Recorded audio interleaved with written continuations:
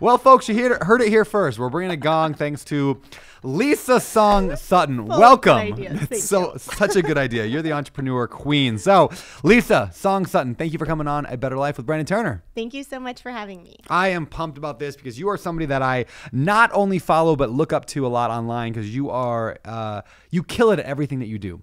And so I want to get into that. So thanks for being here. Thank you so much. All right. So I know you as, uh, first of all, I know you as a real estate investor because we were on a panel together. I think it was at Limitless last year. Uh, I know you as an entrepreneur. I know you do some amazing stuff with like mailboxes. I want to dig into later. And you got a really cool system there that almost nobody's heard of. Uh, you are former Miss Nevada. Like, that's a cool thing. I want to talk about pageants a little bit today. And Yes. uh, why you did that, what it brought out. Uh, so I know all that about you. And I know you're a VC chick. Is that a weird phrase? Like VC girl? I don't know. VC lady, venture capitalist. Uh, you are an entrepreneur. But take us back before all that. Who was Lisa Song Sutton? Yes. So, uh, well, my business career started in law, actually. Okay. Um, and I Oh, you were a worked- lawyer. Mhm. Wow. And I worked in business litigation and business bankruptcy. So that was like the best precursor I could have had before getting actually into business. Yeah. Because you had a chance to meet a lot of really, really smart, interesting people who were coming in, and you were just like, how did you get Mm. here? Um, and you start reverse engineering some circumstances, and you find out six months into their seven year business, they never papered up and signed their operating agreement with their partner. or just, you know, so, so like one thing, right? Where you're just like, oh my gosh. Yeah. Like if you would have done that, the trajectory of the business would have changed forever. percent. Why did you Why did you decide to be a lawyer originally? Like, what what brought that on? Yeah, well, I'm the product of an Asian tiger mom. So, so by the time I was in middle school, my mom was like, "So you're going to be a doctor or a lawyer?" And I was like, "Okay." Yep. Um, and so I did. I decided to go to law school, and even though I didn't stay in law, much to the chagrin of my parents at first, um, I'm so glad that I went because not only did it give me an incredible background in education, but also the network of people that you meet. Everyone that I went to law school with, now I've been out of school, oh my gosh, 13 years. And everyone I You went to law school when you were with- twelve. Wow. yeah, exactly. exactly. Um, everyone I went to law school with now, they're either partners at their firm or they own their own firm or they're in business Mm. and they're just absolutely crushing it. So, how incredible that you have a Rolodex of people that you can just call at any time. Yeah, that's awesome. But you didn't stay in law. So what happened that got took you out of that? Totally by accident. Um, when I was working at the firm, this is two years in, I was just working my big girl job and kind of felt like I had like made it. Like I, I did the right thing, right? I went to college, went to law school, got out, got a good job. Um, so my parents were like, okay, next, you know what I mean? Like now you just need to get married and have babies Yes. and like your life is with a bow on it, you know? and um, two years into working at the firm, um, my uh, co-founder at the time, um, we started Sin City Cupcakes. And it was totally by chance. Um, Danielle had told me she was making these alcohol infused cupcakes, and I'm like, that's an amazing idea. and we need to do it in Vegas. So I made all the mistakes in the beginning that a founder makes, right? I literally was like, move into my house. I just bought a house in Summerlin. I'm like, move into my house. We will start the company here. We started baking in my home kitchen in Summerlin. it was such a disaster. I didn't even know how to bake mm. when we started the company, but I just knew that it was a good idea. And I was like, how much fun is this going to be? And so I stayed working full time at my job because businesses take money. So literally all my free cash, I was just funneling it right into the business to get it started. And then um, Danielle was taking care of day to day operations during the workday. And then nights and weekends, I was helping her bake. I was running deliveries. I was setting up events. I was literally working seven days a week between my full time day job and running the business. But I had so much fun. Mm, that's cool. Yes, that and that's still around today, right? Yeah. Yeah. Did you guys sell it or did you, do you still own it? Yeah. So we're in the middle of an M&A right now. Oh, no So, way. Yeah. So it's exciting. Congrats. That's awesome. Yeah, but like cupcakes were like did you know? I mean, was it just an intuition? You're like, I think this is gonna be the next big thing, or because that like how long ago was that? That would have been what ten years ago ish. This was 11 years ago. Okay, cupcakes have really blown up. I feel like over the last few years. But did you get that early, or did you see what other people were doing and you just like, hey, this is what they're doing? Yeah, so this is after like Magnolia Bakery took off like on Sex in the City. I mean, this is like we're talking back in the day. Yeah. And so this was right when food trucks started to become popular in Vegas. It's like two, 2012. Mm. Yeah. And so we were like, we should have like a cupcake truck. Mm. And so we bought a sprinter van and like decked it out and turned it into a cupcake truck. And so we would use that for execution on like big catering events or the food festivals.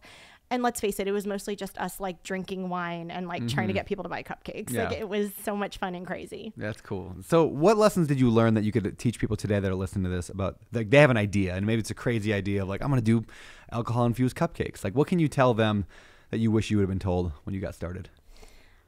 don't be scared to just try it, right? Because I think, you know, everyone has a different level of risk tolerance. But for me, I felt like I did it um, in a very comfortable way in the sense that I didn't just quit my job cold turkey. And I think you have a lot of people who are like, you have to go all in, otherwise you're not serious in this Yeah. and that.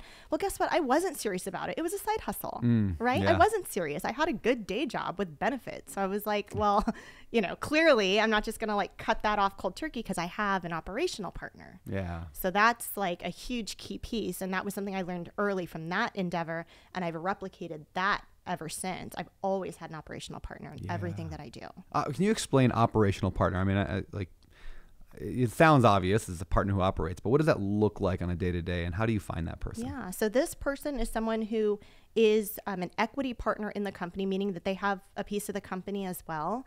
And um, part of how they're earning that equity is through what's called sweat equity, where they are putting in their time, um, perhaps to run it day to day or to be the main point person for the company um, in exchange for part ownership in the company.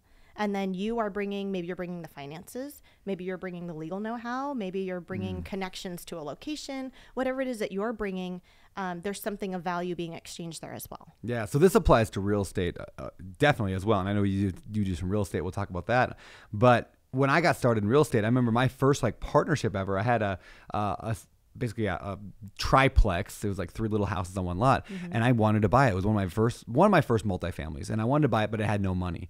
And so I became the operating partner. Uh, I operated the deal. I found it. I put it together. I managed everything, and I found a, a buddy of mine who I went to church with, and him and his wife they had some cash. They actually had a line of credit on their house, like a home equity line of credit. Perfect. So they funded it. Uh, it was like 30 grand maybe. And then we split everything at the end of the day, 50 50. And it worked out perfect. That's so great. But then here's what's funny. I love whenever I tell this story to people, I get one of two answers. Well, why would you give them 50% if you're doing all the work? And then other people say, well, why would they give you 50% Mm. if they put all the money? And I'm like, that's funny. Like, That's what a partnership that's what a partnership is. does. Yeah. You're That's right. like it is, that's yeah. and it works out. It worked out great for them. They didn't have to do any work, and they made. I mean, they made well over a hundred grand on that investment, like over the course of the decade we held it. Yeah, they Yeah. did great. They got their money back actually pretty quickly, and then they just made profit long term. And and so like this is the beauty of a partnership Yes. is that you have some people who have cash, some people who can do the work, and both people can win.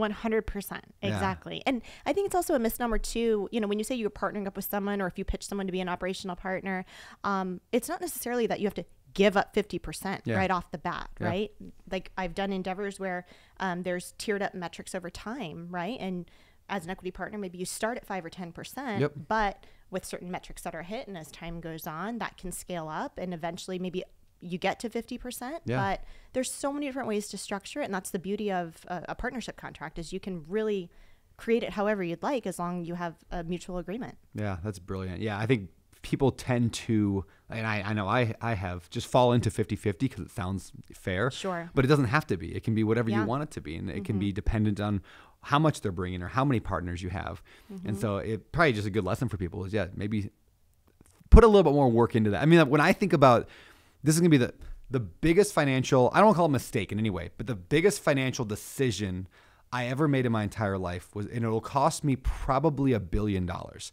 Uh, and it's not a bad thing, but it was it was a decision that I put less work into than picking out like my breakfast that day. Mm. And it was how I was going to divvy up equity at Open Door Capital. I mean, Open Door Capital, we already own almost a billion dollars of real estate. We're aiming to, uh, we want to own $10 billion in 10 years. Mm-hmm. That 10 billion will turn into 15, you know, maybe plus billion. That gets divided up over investors and all my partners at the company. So the way that I just determined was was super like, well, what do you think you should get? Okay, let's do that. Well, let's, let's do that. And I just like throw out equity like I was yeah picking my like my Santa breakfast. Claus, yeah, the Santa Claus yeah. of equity. Yep, and it's or so, the Oprah of equity. Yeah, I didn't realize. you get some. yeah, you get some, you get some, you get some equity. And I know Oh, I love giving equity. I have Yeah. zero regrets about Same, giving the yeah. equity. But it's funny the lack of a, like I didn't ask one person, one person, what I should do for giving equity. I didn't have one conversation Like, with a- what are you somebody. getting in exchange? Yeah, like yeah, I didn't Oh. I didn't have any of that. I didn't ask um I didn't I didn't say is there vesting in there? Right. I didn't do Yeah. I mean it- worked out really well. Like I love the fact that my team has like they end up owning 58% of my company. and, Like Amazing. it's great. They Yeah. work so hard and I how I don't have to work hardly at all at it. It's wonderful. But like why didn't I call up anybody smart who had been doing this for a decade and been like, "Can I just ask you some advice? Yeah. Like what would you give for equity?" And so it's What it- would you recommend? Yeah, what would you recommend? It was, it's a billion dollar decision, and I made it on a whim. And it's, it's a, it worked out well for me. But my warning to other people is maybe put a little more work One into thinking about Yeah, that. exactly. Don't It's just just say an 50 easy conversation. Yeah. Yeah. Yeah, yeah, that's so true. All right, so how did you go from now I'm lawyer with a cupcake company, Mm-hmm. uh, and then later you're Miss Nevada? Like, how did that transition, or where did that come from? So totally unrelated to the business journey, um, but common denominator. My mom. Yeah. My mom is a former Miss Korea. And Oh, really? So yeah, and so she called me the fall of 2013, and she was like, "Are you competing for Miss Las Vegas?" And I was like, "I don't know. I'm busy. I just started a company." And she's like. Um, you're getting ready to age out. So I was like, so I woke up one day, I'm like aging out of pageantry and modeling. Um, who knew? Um, and so I, I had to buckle down and I hired a pageant coach That's a thing. I did not know that. that is the thing. So, I mean, in anything in life, right? Any endeavor that you have, there's going to be a professional theoretically that you could hire to help you. So, I, I hired a pageant coach, and uh, this guy, his name was Bill Alverson. Um, they called him the Nick Saban of pageant coaching. He's from Alabama, and he only like coached winners, right? Very intense uh, application process. He actually denied me the first time because he was like, "You're too short and like small." He Oh, was really? like, "I don't know what's going on here," and I was just like, "Ah," you know, like what's happening?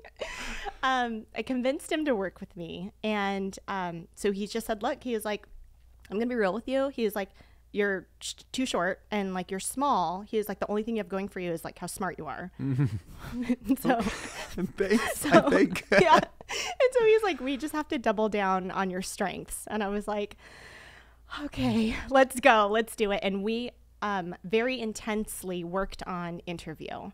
So um, our strategy was if I could get the judges to fall in love with me during private interview, which is the first phase of competition in the pageant, then um, I'd be able to really just kind of show up at uh, on stage and hopefully the other girls were going to be vapid in interview and um, I could at least sail to on stage question and then nail on stage question that would that would be like nail in the coffin I could win. Um, and so his b- big thing was, you know, you got to figure out why you're competing in the first place. He was like, it's not enough that like, you know, your mom thinks you should compete. He was like, you you need to decide why you're competing, and let's get to that. And I realized I was the oldest contestant in the Miss Division that year. I was 28 years old. So I was competing against women, 20 to 29 is the age division. So I was competing against women who were in their 20, 21, early 20s. Um, so totally different stage in life. I had already finished school. I was a working professional. I was a business owner. And so I decided um, my why for competing was that I really wanted to make an impact in the community. I really wanted to ingratiate myself in the Las Vegas community. And if I had the chance to win Miss Nevada, I would do as much work as I could to represent the state as best as I could and do as much community work as I could. So, heading into the state pageant, I had the title of Miss Las Vegas for I think four months heading into Miss Nevada.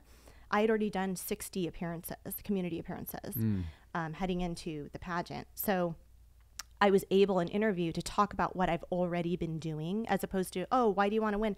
Well, if I win, then I want to do this, this, and this. I was like, actually, I've already been doing this, this, and this with all these other nonprofits.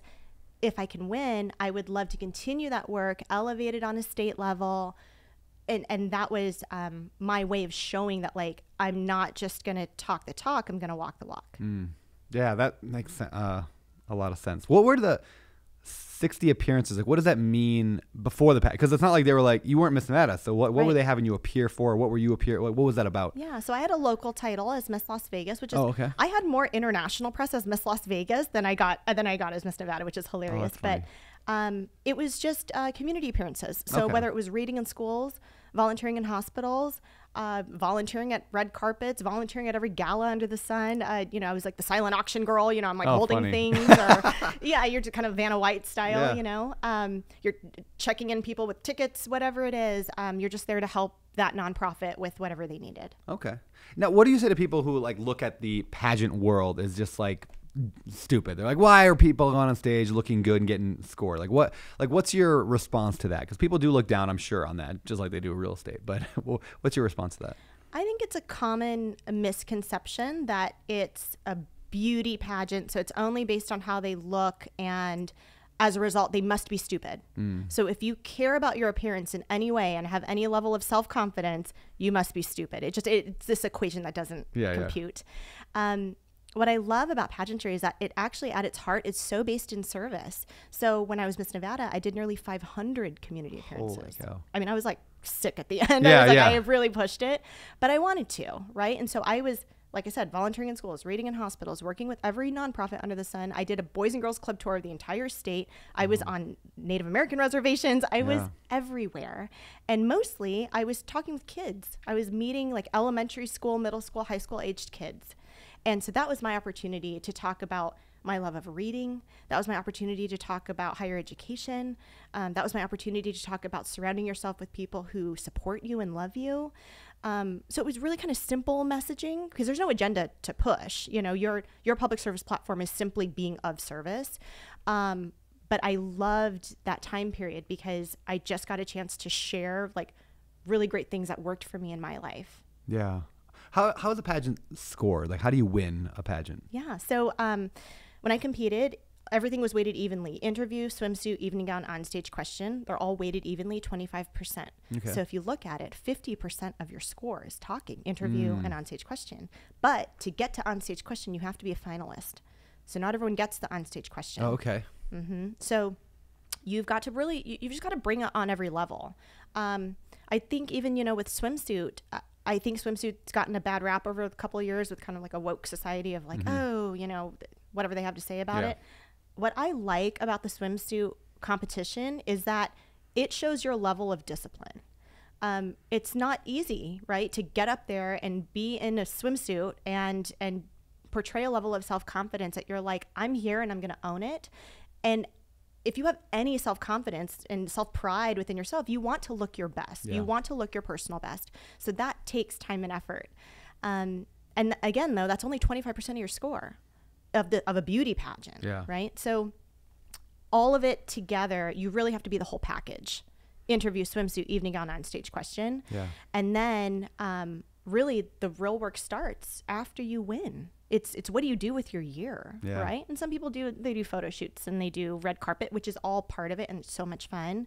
But to this day, nine years later, I still have business relationships, personal relationships, friendships that mm. I made from that one year of busting my tail, traveling around the state, and literally volunteering my time. Yeah, that's really cool. Yeah, I mean, I I'm a I'm a big believer in this idea that hu- the reason humans like people who are fit, like the reason we are attracted to a, uh, to fit bodies, is because it demonstrates a level of commitment and discipline. Uh, so, in other words, if you go like biologically or evolutionary, like when we look at somebody who is in shape, uh, not like super like uh, you know uh, sick and unhealthy, right? But they're super in shape. It says, hey, that person is committed to the long haul. Uh, I have a theory about beards are the same way. I think that's why beards are generally considered more attractive because they demonstrate. Uh, uh, the ability to commit to something for a long period of time. I could be totally off on that, and, you know, but I'm going to go with that. That, that it, it says, hey, I can commit to something for a long time. So if you're looking for a mate, if you're, you know, like living in, you know, you know, whatever, thousands of years ago, living out in the middle of something, you're looking for a mate that person is super in shape. That probably says, hey, they can take care of themselves. They can get food for themselves. They can feed themselves and they can feed their family. Therefore, I'm going to be more attracted to them. So I'm, I'm a big believer that we're biologically wired for that. Now, we live in a society today which is very much we should not glorify good looks in any way because that's going to make people who do not look good feel bad about themselves. Uh, what's your take on that? I mean, like, is I like where where's the line between looking good but not being obsessed with it, looking uh letting yourself go per se, you know, and and just being unhealthy. We'll call it. You know, I had a business mentor tell me years ago. He said um, one of his filters for when he works with um, any sort of financial advisor or even a real estate advisor is if they're very overweight, mm. he won't work with them. Mm. And I was like, "What?" I was like, "What a mean thing to say! What are you talking about?" Right? And he was like, "No, no, no. Here's like, hear me out." He was like, that to me shows their level of dedication and discipline. Mm. He's like, if they don't care enough to take the steps to get themselves healthy, Yep. he's like, I'm not going to give them my money. Yeah. And I was like, fair enough. Yeah, it's so true. I saw a, video the other day from a guy named Andy Elliott. He's a sales coach, uh, trainer guy. I think car, like teaches like car salesman and stuff like that. But he's like super like jacked guy, and he made that statement. He's like, when when somebody walks into a, a car dealership and there's a guy that looks super good and like in shape, like he's strong, and then there's a guy who's completely overweight. 99% of the time people will go to the guy who's super in shape Almost like uh, yeah like, subconsciously, subconsciously we'll go to that Yeah. Mm. person because there's something about like that guy is going to take better care of me than Mm-hmm. that guy uh, and it's whether it's right or wrong it it is a fact and so if you're a salesperson if you're a, a business owner the, the more in shape you are people will take you most likely more seriously and Oh, yeah, people get offended at me saying that and it's it's just I think it just it comes down to physical health, Yeah. right? It's it's it's a scientific fact, right? It's a biological fact that if you are healthy and and your weight is in a, a I guess a some sort of like you know what works for you, right? Yeah. Whatever works for your body, you are going to function better, yeah right? yeah So you'll have more mental clarity, you'll have more stamina, you'll be able to execute better. yes Which just makes you a better all around human, business person, all the above. Yeah, we interviewed. Uh, I think it was on the episode Ryan Kennedy months ago, and he said that health is the ultimate like uh, like what do you say cheat code to like business because like what, you have good health, you have good energy. Good energy makes you more likely to get up and go get after business, and so Right. and it helps every area. Same with sleep. The more if you get good sleep, you eat good, you get enough water, you are you have ten times the energy energy that Yep. that everyone else has. So of course you're going to crush it in business. Yeah. And so why not focus a little bit more on that? So what is your what does health and fitness look like for you today? Like what's your favorite workout? What do you do? How do you eat? What's that like? Yeah, so I love using ClassPass. Um, I also I have a personal trainer, but um, I love ClassPass because my schedule is so sporadic, um, and I often travel as well. And so um, I was just like, what is going to work for me of like a very sporadic schedule? And so what I love about ClassPass is that first off, it's like so cheap. It's like thirty nine bucks a month. There's different plans. I'm on like Yeah. the thirty nine a month plan, Yeah. um, and it allows me to just drop into any class that's around me. So if I'm in Dallas, if I'm in San Diego, if I'm in Las Vegas, I can literally drop into a boot camp class or a yoga class or whatever and get my workout in, and it's totally fine. That's cool. Yeah, so I love that. Um, and then I also have been doing stem cell treatments, um, and uh, that's been a game changer for me. Um, I didn't know much about it um, until I had a very good friend of mine, Ricky Patel, who actually I went to law school with, um, and he's a dear, dear friend. He's one of those people that like. I trust him with my life. So like if he tells you that something's legit, he's also the type of personality that like he researches everything before doing anything. So you're like, I know this has I been thoroughly people. Yeah, researched, you know. yeah. I love people Um, like and that. he's a, he's a phenomenal attorney and businessman. Um, but he called me one day and he was like, "Hey, Lise," uh, he's like, "Where is Henderson, Nevada?" And I'm like, "It's Vegas. It's Southeast Las Vegas. Bye." And he was like, "Oh my gosh." He was like, "Well, I found this doctor that I really want to go to." He's like, "I'm actually going to fly in with my cousin and bring my cousin Chet, and like we're going to go see this guy." Um, you know, let's have lunch before we go. Let's let's catch up. And I was like, yeah, for sure. So I go meet him for lunch, and he's telling me like all these things, and I'm just like, I'm going. I'm going to your appointment. Like, even if the doctor can't see me, like, so I just want to like be there and meet him and just kind of see what's up, you know. Yeah. So, um, Ricky, prior to this, had gone down to Costa Rica and did this very extensive. There's a place, I think it's called Rhythmia. It's like 30 grand for the week. And it's this whole wellness, you know, they're doing stem cells and they're doing all the kinds of organic this and, you know, whatever, right? Ton, tons of woo woo stuff going Yeah. on. Um, but it's all for health and, and mental well being. And he was looking for, um, a same kind of high level treatment in relation to stem cells and exosomes. And he was like looking, looking, looking, and he came across this doctor who happened to be in Henderson, Nevada. And I'm just like, dude, that's in Vegas. Like, what's up? You know? So I ended up meeting the doctor. His name is Dr. Gross. And um, his background is um, he was a spinal surgeon and he's just like a biohacking nerd like he's super into biohacking and so he worked with me and we created this custom biohacking plan um, i didn't have any particular ailments around like knee injury or back injury shoulder rotator cuff anything like that Um, so he was like, let's just do kind of overall um, well being. And so it's been a life changer. Like, like I feel. I, I just have more like organic energy. Um, usually I'm like caffeine fiend anyway, Yeah, yeah. just to get things done. But like I just have so much more energy. Um, I feel like I'm more youthful. Um, and like my hairdressers told me, you know, I have less grays, like that kind of stuff, like on the phys- physical side. Yeah. But I think just the mental clarity of just getting that boost because it's literally, um, it's cells that are repairing your cells. So they're changed, it's mRNA, right? They're changing to become the cells that you need um, for whatever's damaged. It's very like anti-inflammatory. So if you have a lot of inflammation in your body, it attacks that inflammation and then becomes whatever cells you need. So Dr. Gross was saying, and by the way, I like that like Dr. Gross does this on like him and his family too. Yeah. Um, his wife, for example, had bad knees from skiing her entire life, and before exploring um, meniscus surgery, they were like, "Let's do stem cells, see what happens." Injected both her knees. Twelve months later, did an MRI. She had regrown cartilage. So a lot of his patients um, are people who have a specific, like I said, either rotator cuff, meniscus, and they come to him before surgery. So he's like, "Let's try this before surgery," and he's got like a you know he's batting a thousand like these folks don't have to go get surgery because their body ends up regrowing what they need Yeah, that's cool. I think my dad did that actually. He had a bad knee, and I think he got the stem cell in his knee, and Yeah. it, yeah, it took care of that instead of surgery. So yeah so it's good things. yeah it's it's really incredible um like i said i'm i'm a big fan of it i'm a big proponent of it um and i've referred many friends and family to this doctor as well but in, i mean in general like you know i think you can find this all around the united states Yeah. It is not fda approved um, but what that means is that the doctor can't say oh brandon your shoulder hurts if i inject you with this your shoulder will get better they can't make any guarantees around it um, but um, I, I would just encourage anyone, you know, they can look in their area, they can look for stem cell therapy in their area um, and ask questions. Ask the doctor, um, you know, where, where do you get your stem cells, right? Because there's, you, you can take them from yourself, right? Or they come from a facility with a donor. And that's how, that's how I, I use mine. Um, what I like about this is Dr. Gross uses a facility out of Colorado.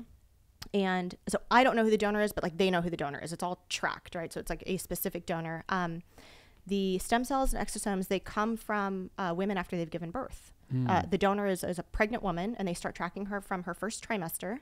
Um, and after she gives birth, they harvest the placenta, uh, umbilical cord jelly, and um, amniotic fluid, and that is how they obtain the stem cells. Really interesting. hmm And what I also like is that this particular facility in Colorado, if the donor, the pregnant woman, um, has had the vaccine, she is no longer an eligible donor. Oh, really? And it's because they don't know the long term Mm. effects of the mRNA, because it's stem cells are M- mRNA, right? So they don't know the long term effects of uh, the vaccine in Yeah. relation to the stem cells.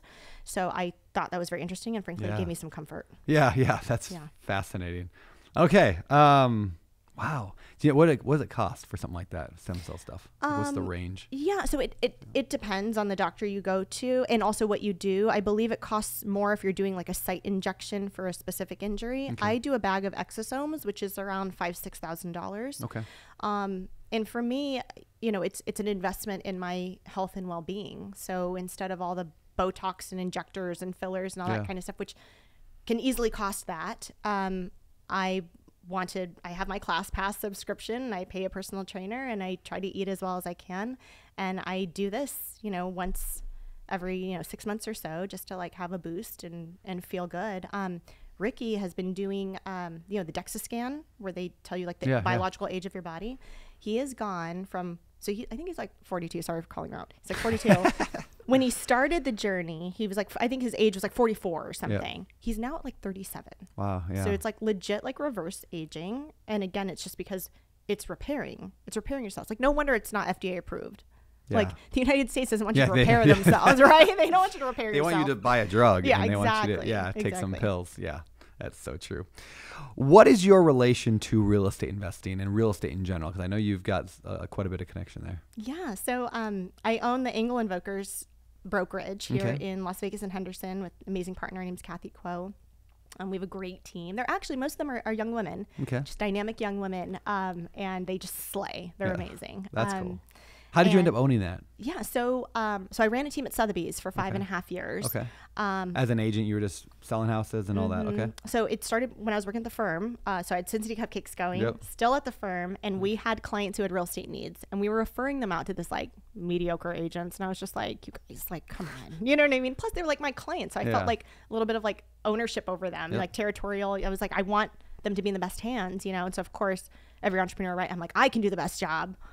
So I go get my real estate license. And because I already had a full time job working at the firm and now had this side hustle of the cupcakes, I teamed up with um, my first real estate partner and um, we ran a team at Sotheby's. And he was a full time broker. And so I was like, look, I've got this book of business. Let's split everything 50 50. Yep. And, um, and I also want to learn the business. So I'm, I, I want to be like an agent, right? Like I want to learn everything too. So I mean, one of the first open houses I did was like an eighty thousand dollar condo on the east side. You know what I mean? Like I, I did it. I, I did all the open houses and running around with buyers, and um, I learned the ins and outs of the business of being an agent. Being at um, Sotheby's at the time, great global brand, um, but the local leadership at that time, um, there was not going to be an opportunity for me to buy into ownership. And I think again, just coming from the firm and being around business owners, I was like, I know that I want to have equity at some Yeah. point, and that wasn't going to be a pathway there. And so I started looking around for other options. Um, and I brought the Christie's brand to Las Vegas. Um, had that for two years. That got sold off to At Properties, and then um, Engel & Völkers is a great global brand. So I bought into the Henderson office, which was already here, and then we expanded to Las Vegas. Very cool. And so, do you are you still involved in showing houses or open houses or any of that stuff anymore? Or are you no, out of that? l- l- better for everyone, Yeah. right? um, so now, as a brokerage owner, my main role is to help train and mentor our agents, and also do business development. Hmm. So I help bring in, you know, development deals. Um, obviously, still have my old book of business from back in the day, who I've now, you know, branched out and shared with my partners. Um, and it's just so much. Fun. I, I enjoy it because I really get uh, this chance to support our agents, which I just really enjoy. Um, and also, we have a personal goal of turning all of our agents into real estate investors as well. That's cool. So, what about real estate investing? What's your what's your background there? What do you do there? So I saw my parents doing it while I was growing up a little bit. Um, my dad was a military guy, uh, U.S. Air Force for 20 years, and then Department of Defense for another 20 years. Um, and my mom was stay-at-home mom with me until I was in sixth grade. Um, and then she decided to get her cosmetology license and opened a hair salon. Um, but when I was in elementary school, my mom was like, "We need to be buying more real estate. We had, you know, they my parents had owned the house that we lived in, I grew up in.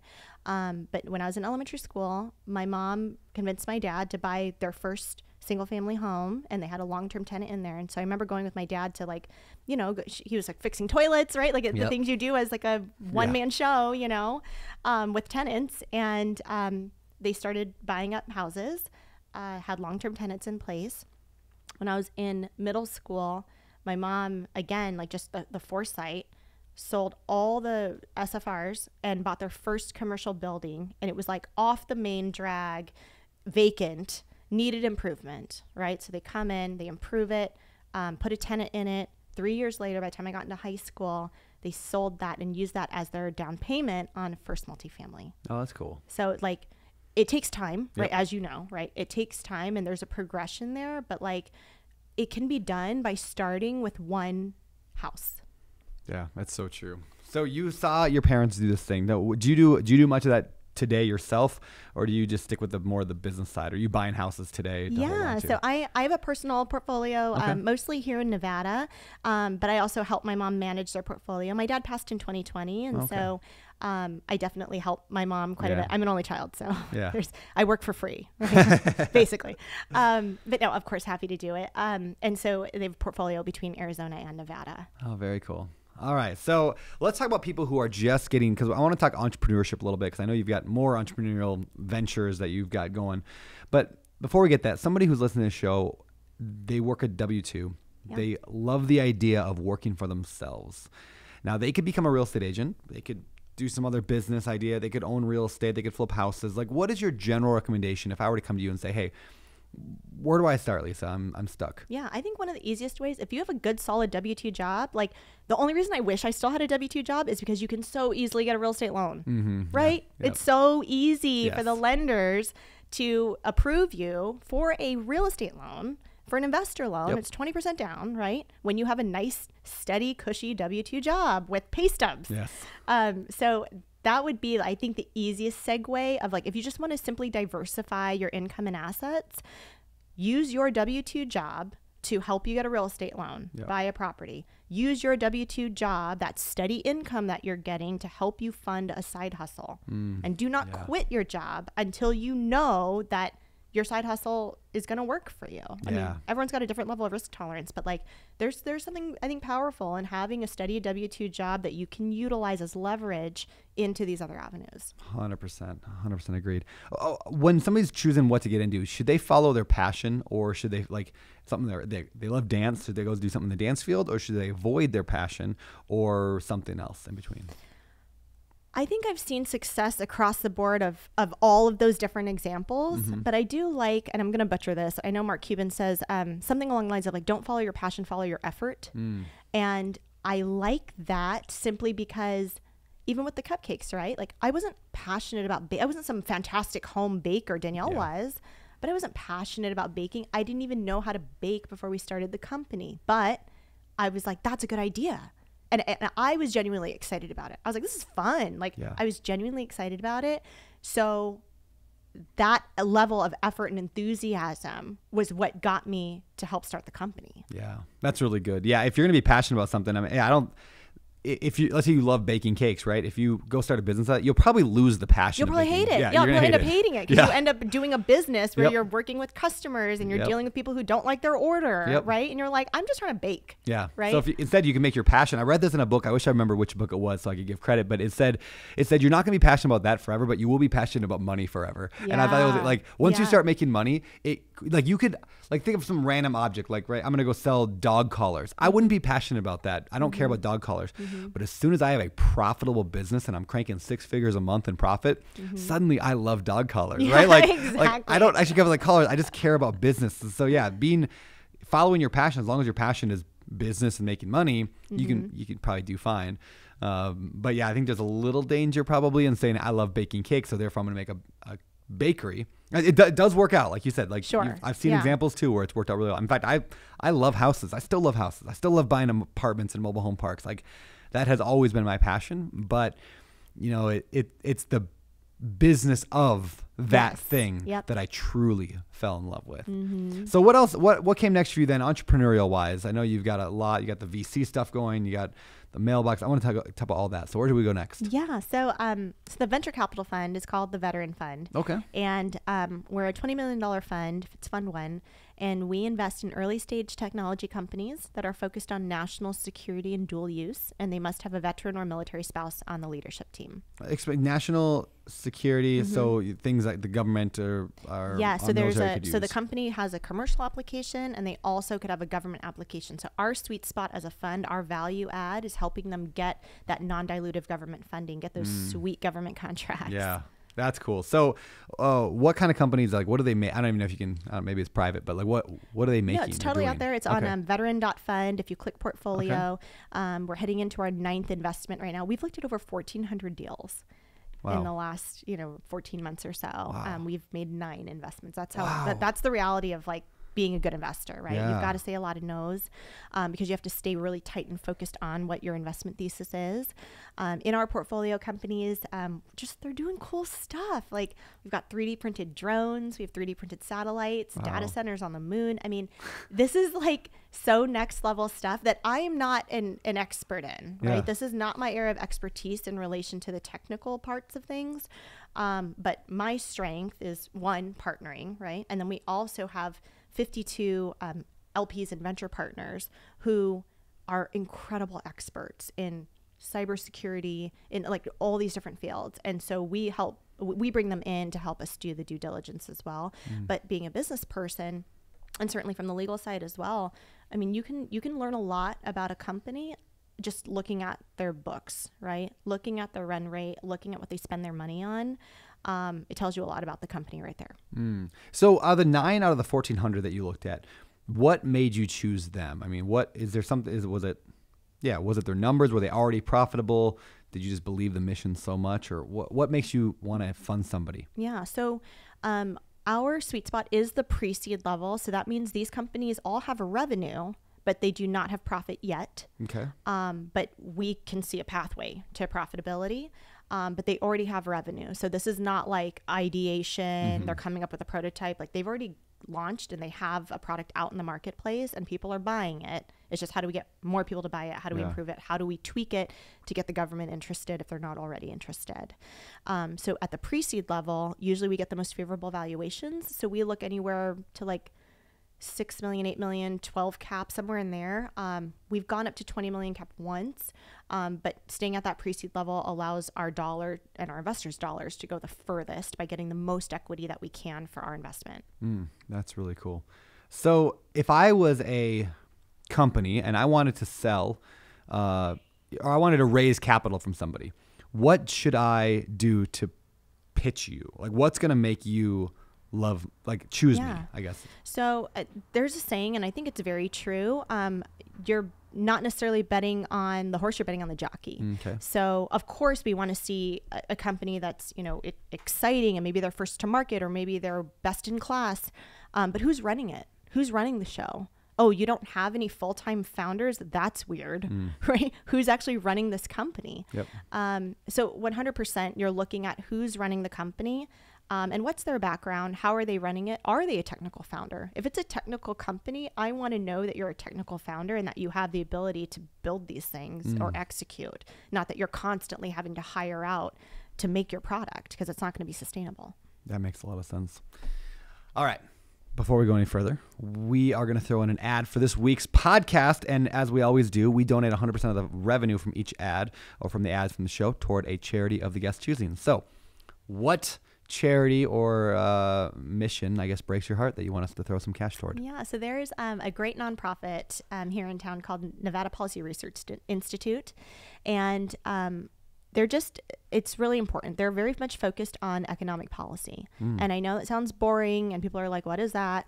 Um, if all of us here are like in business or in real estate or interested in business, you have to be paying attention to policy because policy is the magic laws that legislators decide yes. and then it comes down and rains on us, right? Like, oh, your business is not essential, it has to be closed, or you need whatever the regulation is. It's literally decided by these elected officials. Um, you may not even know who your elected official is, Yeah. right? That's the crazy part is that in private sector, we're so focused on head down and we're busy working on our businesses. We don't pop our heads up enough and we don't get involved enough on public sector. And then we're surprised when these types of rules and legislations come down that we have to abide by Yeah. as law abiding citizens, right? We have to abide by them. So you've got to be paying attention to policy. Yeah, it makes a lot of sense. Well, let's cue the ad and then we'll donate the money to that. All right, so let's talk why veteran real quick. Why you, are you you did not you're not in the veteran you're not a veteran right? No, I, make su- I did not your serve, but I come from a military family. Okay, Yes. is, So is that dad- where that comes from? That heart? Mm-hmm, yeah, my dad, um, he was a Vietnam veteran. Uh, and like I said, did 20 years U.S. Air Force, and then another, tw- I think, 22 years working for the DoD. So by the time I came around, my dad was already um, working for the Department of Defense. Um, and I think just growing up in a household that is so um, appreciative and proud to be an American, Yeah. um, it just taught me a lot of core values. Um, and I grew up in a small town called Sierra Vista, which is right next to Fort Huachuca, which is an Army intelligence base, and that's where my dad worked for the DoD. Um, and I just, you know, I just think it's so, it, it's just a, such a core part of, of who I am. And so to this day, even like at one of our ship stores, for example, it's right by the base. And so we hire military spouses up there. And um, who, by the way, I think military spouses are entrepreneurs' secret weapon Really? these ladies are amazing, right? Like they're so a lot of them take themselves out of the workforce because especially if they're um, moving around, it's every three years. They got to move every three years. Yeah. You pack up your entire family and move somewhere new that you've never been to, and um, so in general, it's hard to sustain a career, right? Forget like holding a regular job. So they'll take themselves out of the workforce, and most of them are college educated. Yeah. They're sharp, they're just busy, right? They're running a household and moving and doing all the things, especially if their husband's deployed. They're Yeah. running the household by themselves. Um, and so I love hiring military spouses because, in general, they want to work part time. Um, they are like super on time or early. They like to decorate. Like it just they're so awesome. Like I love the military spouses that work with us. Um, and pro tip, you don't have to pay for their health insurance. Ah, So I'm like, what is this magical part-time employee? that's awesome. That's awesome. All right, so you mentioned you mentioned the uh, I think you said mail uh, mail center mailbox. Let's talk about Yeah. that. What is that? So And how'd you get into that world? So I started these independent mailbox rental pack and ship stores simply because I was like irritated. Um, I'd had a mailbox that I rented at a local UPS store here in Las Vegas for like, I think I had it for like seven years or something. And they'd auto charge my credit card every year, right? And I'd, I'd get the charge on my email and I was like, oh, I need to cancel that. And I never would Yeah, because yeah. it's a pain in the ass to like Yep. change your address. And then finally one day I was like, if I am not canceling this, other people are not canceling this, right? So, um, I uh, called a friend of mine who had three UPS franchise stores in San Diego at the time because I was looking at a UPS franchise. And he was like, Lisa, he's like, let me tell you, he's like, if you called my UPS store right now and said, hi, I'm a new mailbox customer, I don't even have a mailbox to give you. He's like, I'm maxed out. He's like, I have like 310 mailboxes. I'm maxed out. And I was like, you can't put in more? He's like, no, because the franchise dictates my store layout. And I was like, oh. And so he was like, the way this business model works is like you could have mailboxes as a steady recurring revenue, mini storage units, um, paying your uh, rent and payroll, paying your fixed overhead cost, right? And then the shipping is ancillary and seasonal. And I was like, interesting. He's like, so if I were you, he's like, forget the UPS franchise route. He's like, you got to pay them monthly royalties. There's a monthly marketing fee. He's like, go independent. He's like, then you can con- configure the store however you'd like, slam in a thousand mailboxes if you want, right? And have shipping in the back. Yeah. And I was like, love it. Okay. And then I was like, well, I still don't know anything about running these stores. So I go up the street from my house in Summerlin to a local independent store called Postal Pros um, that I'd been a patron of for years. So I knew the owner. His name's Andrew. And I went to Andrew and I said, uh, do you want to expand? And he's like, no. He's like curmudgeon you know. And, I was like, and so I was like, well, I want to open up one of these down at like 215 Russell. It's far enough away. It's not competition. Um, I will pay you $10,000 if you let me follow you around for two weeks and I'll capture all your processes and make you like a lovely SOP handbook. And he was just like, Are you serious? And I was like, Yeah. And he was like, All right, fine. and so literally the next day I showed up, he unlocked the front door. And the second he unlocked, like to this day, our SOPs start with number one, like unlock the front door. Like, and so I went in and I literally trained in his store for two weeks. Like people thought I was a new hire. I, I learned everything. I, I was like, I down to his counter heights. Like I, I got SOPs for everything. So that way I was able to modify, you know, and open up my stores. But I literally trained in his store for two weeks. Like customers thought I was a new hire. I had one guy tell me, he was like, you know, he's like, you're too pretty to work at a shipping store. and I was like, thanks. Like, That is genius. I've never heard of anybody doing that where it's like I'm going to pay the owner of the company I want to build. I'm going to pay them to follow them around, give them an SOP, and I'm going to have my own. because he didn't have SOPs, Yeah. right? He has like Yeah, what, three them- most- employees. yeah, he works there like kind of part timeish, right? Yep. He's had this store now like 13 years, and like, you know, it's just it's just a, a great lifestyle business for him. So Yeah. he was just like, I don't have SOPs. I don't, you know what I mean? Like, what are you talking about? And I was like, I will build them for you. Like, I will make it so it's easier for you to train Yep. again if you ever need to. Like, That's genius. All right. So, what did you learn? I mean, like, what did you what did you learn about that world of mailboxes? Like, why is that a pro- like? Yeah. Who wants a mailbox? There's Who's so much. yeah. No, I love it. I love Yeah. it. So, what I love about the mailbox stores is that for the most part, uh, most of our mailbox customers are actually small business owners, like like a side hustle type, where Okay, like maybe they have a W two job, but like they sell Etsy on the side, or they sell Poshmark, or they sell Amazon, or whatever. They sell on Wish, um, and and so they one would like to have a business address because yep. here in Nevada, for example, when you file your paperwork with the Secretary of State, you must list an address. And if you are like a newbie and you don't know what you're doing, people end up putting their home address and it's totally public information. Like Yep. you can look it up. Um, so, one, just for the privacy and protection of using a business address. Two, the convenience. Um, you don't have to worry about your packages. So, obviously, we accept all the, the mail Yeah. for our customers. And you know, we sign for FedEx, whatever it is, and so we're able to store it safely. And especially if you're selling online, um, you need a secure place to Yeah. send your mail. That's amazing. Do do people, I guess, when they're you know using these mailboxes, do they forward their mail somewhere else? Do you forward it on, or do they have to come there in person to pick it up, or how does that work? Yeah, it depends. So, Okay. um, most of our clientele, I would say the majority of them are super hyper local in the sense they live right around the store. Okay. So um, that's why you can have stores kind of in close proximity to each other and it's not competition because it's so hyper local. Um, your customer base is literally picking up their mail on their way home. So they want to make it as convenient as possible for them to run in, run out, grab their package or whatever it is. Um, we do have a handful of folks that we forward mail to, and um, some of them it's because they've moved, but they still need to utilize that address because they still have a Nevada business, um, whatever it is. And so we'll forward sometimes depending on the cadence of whatever they want, you know, biweekly or monthly. Um, but otherwise, we're we're providing a mailing address that's also a safe, secure place to receive mail. Yeah, that's cool. Yeah, I think of my. I have a PO box. Uh, I've lived in Hawaii now for five years, uh, and I still have my PO box from you know my old town. And I still I have my mother in law go every two weeks. She goes to get all my mail and Yep. ships it. And I keep telling myself I got to change the address and change the mail. I never do. I just Yeah. keep paying the PO box. Yeah. Uh, but one thing I like about the system you have, and I'm assuming you don't have to write PO box whatever. You could probably write suite whatever. Correct. So So it it, it's actually a street address. So Yeah. if you get a PO box with the post office, which is a post office box, right? Yep. If you get a PO box with the post office, um, that's all well and good. But in general, they won't accept UPS. They won't accept FedEx. There's a lot of restrictions around those PO boxes.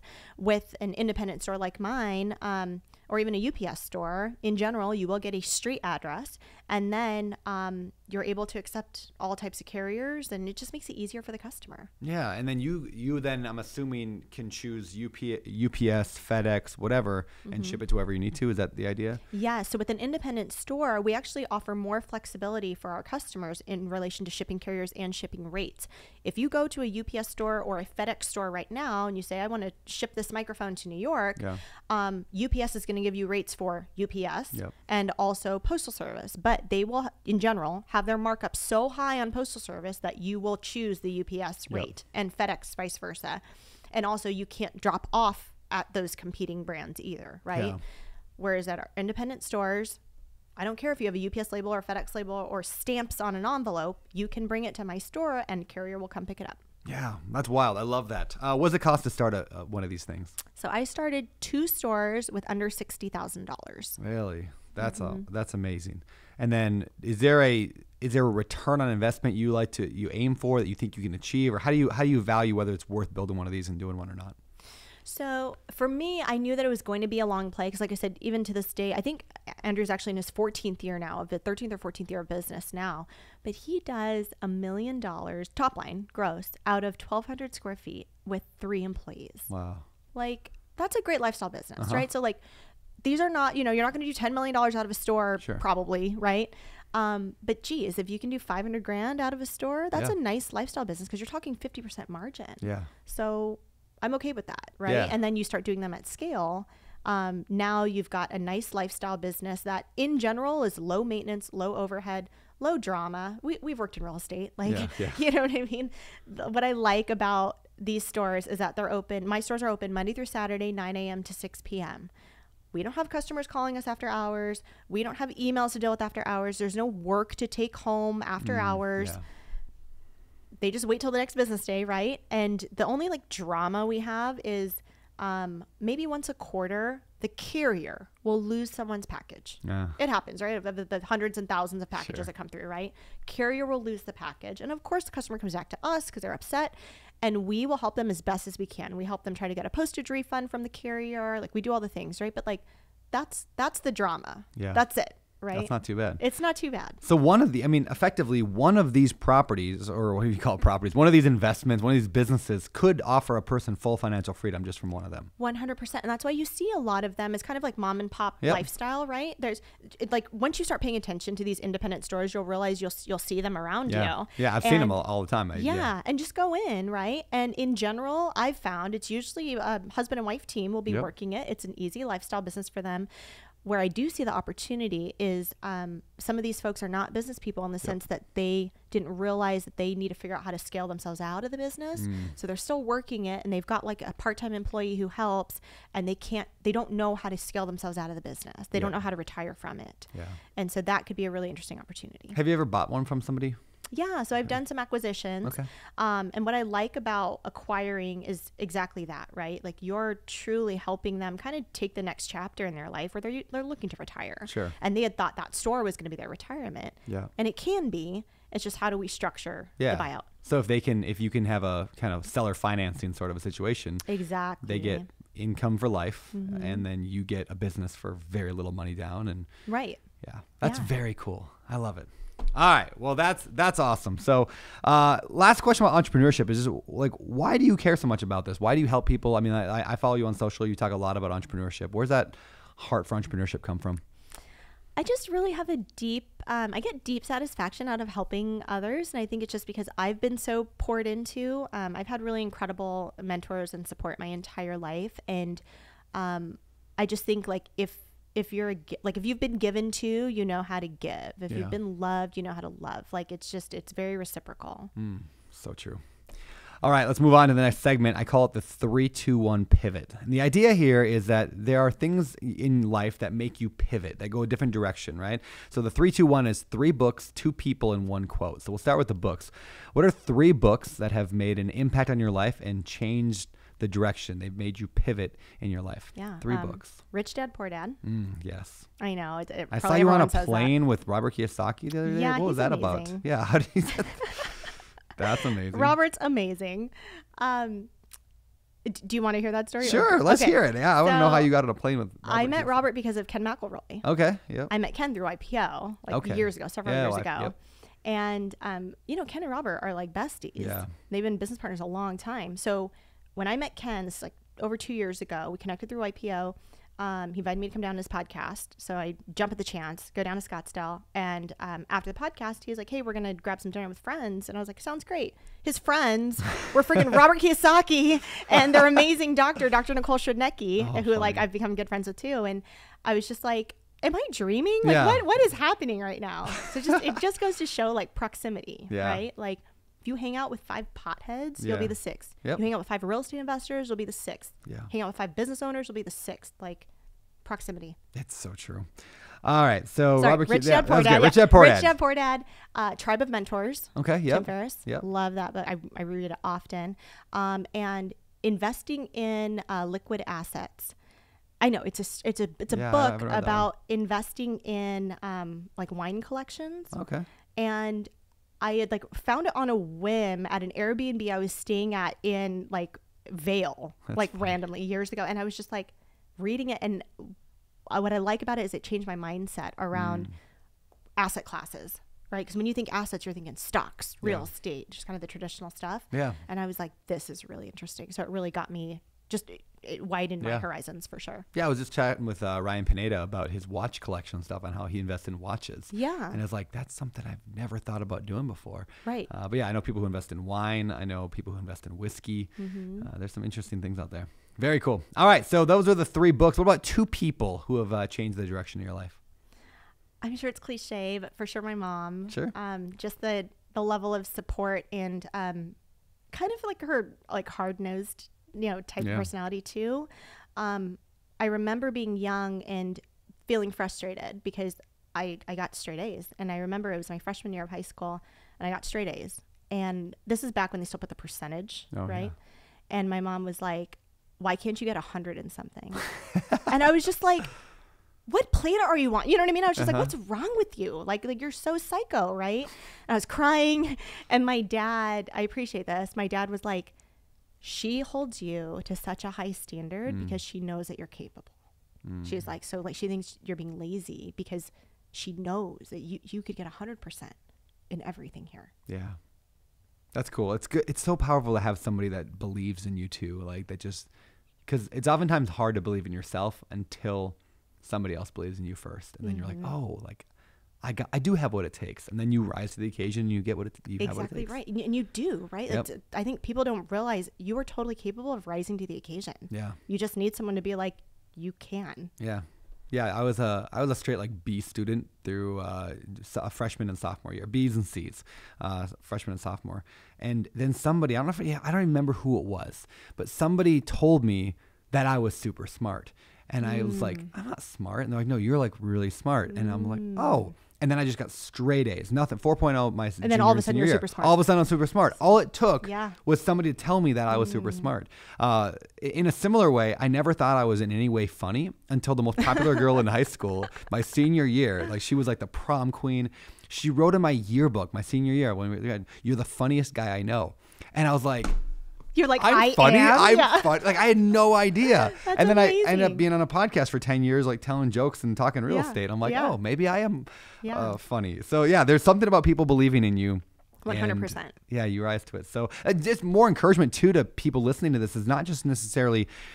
Uh, you know, you getting told you're smart or funny or whatever, but how can you pour into other people and tell them? Mm-hmm. How can you recognize the intelligence or the humor or the, you know, whatever, the homemaking? Like you are so good at at whatever. Yep. Like telling people that uh, we do it to kids all the time. Like, oh wow, you're so good at that art project, or whatever. But do we do it to our friends? Do we do it to, Mm-hmm. to our adults, Adults, yeah, yeah, we don't. We Yeah, don't. we really don't. If anything, I think almost human nature with adults is like to criticize or Yeah, to like knock you're down, right. And like that's what I love about our brokerage. Like we're so we're so all about like empowering each other. and We're very collaborative, Mm. um, which a lot of people find like surprising because again, it's mostly women, um, and we're talking real estate in Las Vegas, right? Um, we literally have this giant group text, and like I love that.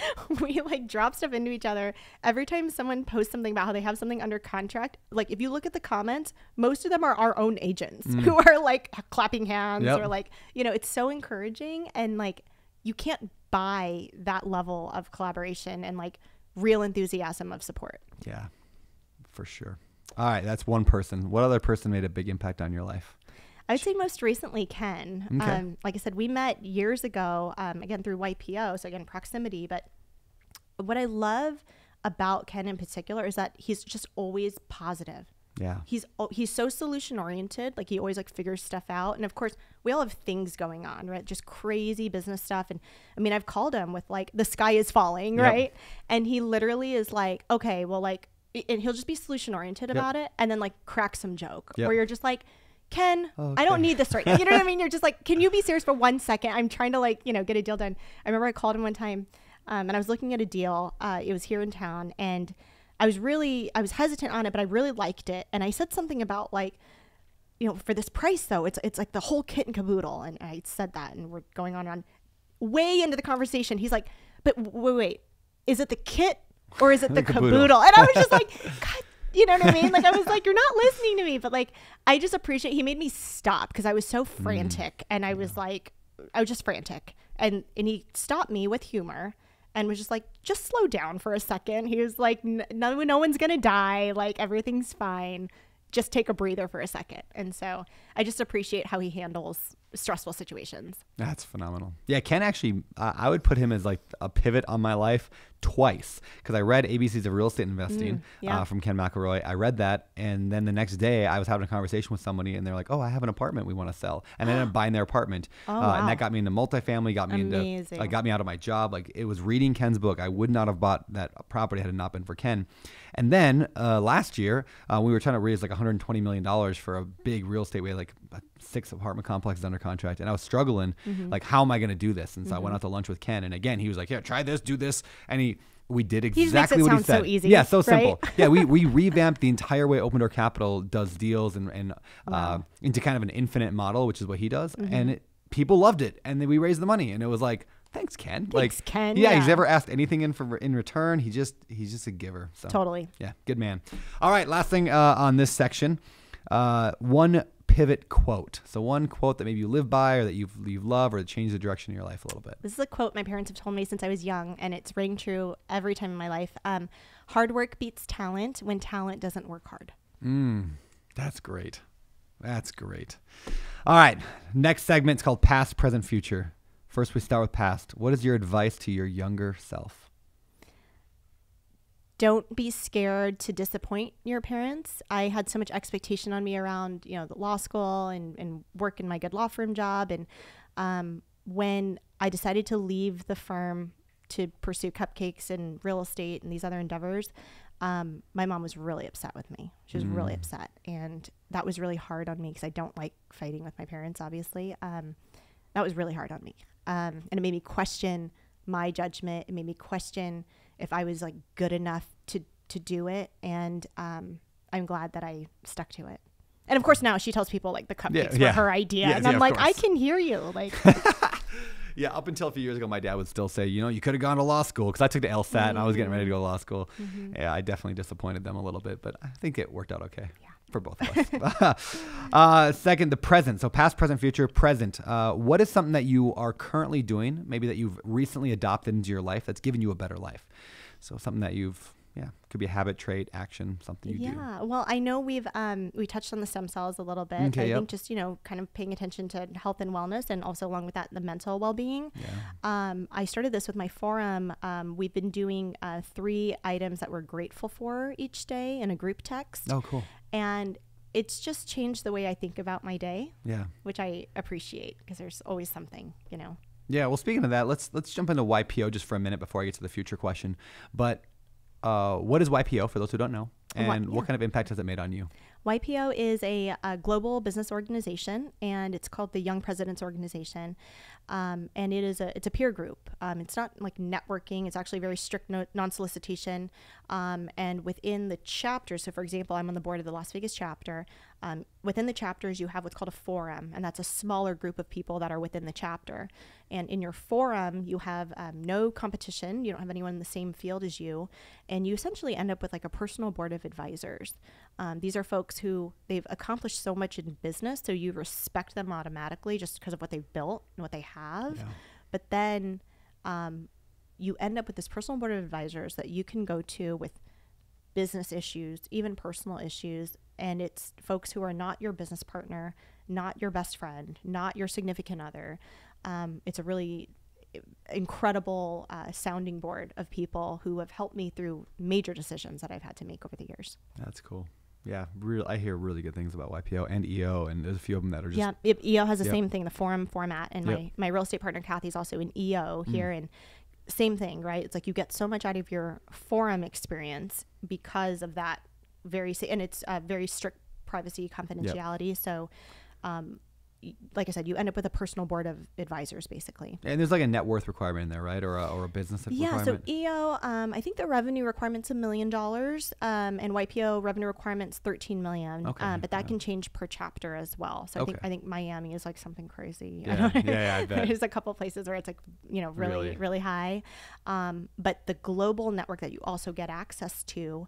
Um, there's a back end called YPO Connect, almost like a like a LinkedIn, but it's like just YPO. Um, and what I did was I went through and I just looked up members that were kind of in close proximity to Las Vegas. Um, and I cold DM'd them on LinkedIn, like found them on LinkedIn. That's how I met Ken. I Oh, cold. DM'd Ken McElroy on LinkedIn and introduced myself. This is years ago as a, as a new YPO Las Vegas member. And I saw that he was in YPO and that I just wanted to stay connected. And if I could ever be a Las Vegas resource, please reach out. It's, literally, it's a copy and paste. I sent it to, I don't know, hundreds of YPO people. And Ken was one of the people that wrote me back and was like, hey, like, looked at your LinkedIn. You look really interesting. I have a podcast. Let me know if you ever want to come down on the podcast. Oh, that's cool. And that's how it started. That's amazing. I love that. Uh, yeah, when I started the the Better Life, you know, tribe that I've got, it was kind of an idea of like, can I do what they do in EO and YPO, but at a at a lower uh, barrier to entry? So people who are just trying to buy their, you know, Yeah. rentals or build mailbox companies, like it was Yeah. kind of the same idea. So we have we don't call them forums, but we have you know pods that people meet them. Same idea, but just for a lower Mm-hmm. Price that. entry. Yeah, yeah. It's, so, it's so having a peer group is so valuable. So valuable, yeah. And, it, and before I got into YPO, you know, um, I had I was in YEC, which is the Young Entrepreneurs Mm, yep. Council. That's where I met Codie Sanchez, like all these folks back in the day. This is before. Yeah, this is before before anyone was, was YouTube Codie. famous. Yep. You know what I mean? Like this is like back in the day when we were still in the grind phase. Yep. We'd hit a million in revenue in our respective businesses, but we were we were still building. Right. Yes. We're, we're trying to get to five million. We're trying to get to like we're still grinding. Yeah. You know, figuring it out, and Yeah. it was so valuable to have a peer group. Yeah, love it. Uh, future question: What do you want your legacy to be? I want to hopefully just impact as many folks as possible. And I think that's what I love about the mailboxes, what I've done and, and created that e course like almost by accident. Yeah. Um, uh, so it's this e course that I created of how to start your own independent store. And three of my early testers have already started their own stores from scratch. Like That's it's so amazing, right? So I love that it's like literally birthing new small business owners um, these are entrepreneurs who are like taking their life into their own hands, you know, and it's just so cool. Yeah, well, that, of. that relates to the next question, which is what are you excited about? And kind of the wrap up section here. What are you excited about? Is that the thing, the e course? Definitely the e-course, just because it's like I said, we so we have about 200 students in there right Wow. now, um, and literally these are folks who are like they're making their own store. Yeah. Like it's so cool, um, and definitely the fun, the work that we do with the Veteran Fund. It's so important and impactful, and I just I'm so grateful that I get to be part of it. Yeah, very, very cool. All right, last question from me. Where can people best follow you at? Where do you want them to follow you? Yeah, I'm on all the social channels Instagram, LinkedIn, Twitter, um, at Lisa Song Sutton, and my website is lisasongsutton.com. Love it. Well, thank you, Lisa. You're amazing. Really appreciate you. Thank you so much.